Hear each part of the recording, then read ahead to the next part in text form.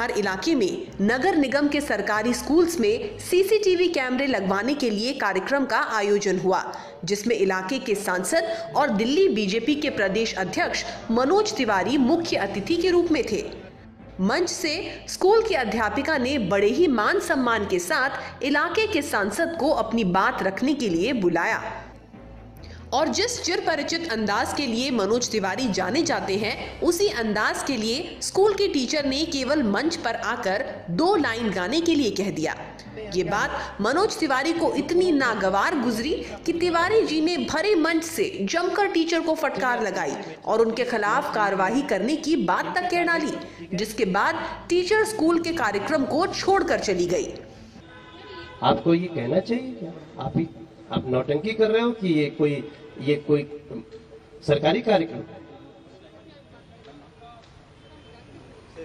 ये मज़ाक नहीं कर रहे हैं। आप सांसद को बोलोगे आप गाना गाओ? ये तमीज है आपकी।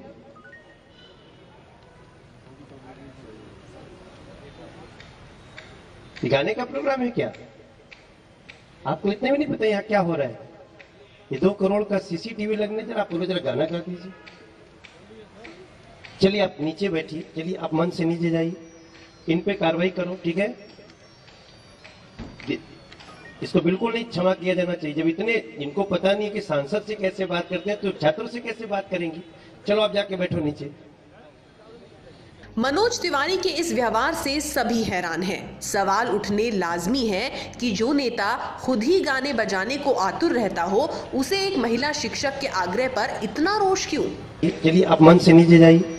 इन पे कार्रवाई करो, ठीक है?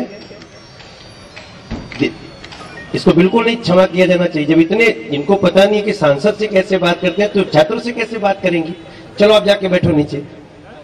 मनोज तिवारी का कहना था कि यहाँ करोड़ों रुपए के सीसीटीवी लग रहे थे और ऐसे मौके पर शिक्षिका ने उन्हें गाने की बात कह दी। गाने का प्रोग्राम है क्या? आपको इतने भी नहीं पता यहाँ क्या हो रहा है। ये दो करोड़ का सीसीटीवी लगने जरा आप जरा गाना गा दीजिए।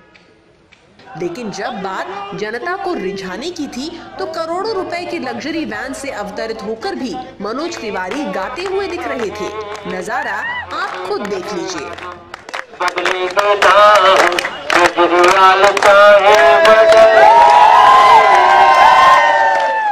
सीधा सवाल यहाँ पर यह है कि आखिर क्यों मनोज तिवारी को टीचर की बात पर इतना गुस्सा आया? हर मंच से तिवारी कुछ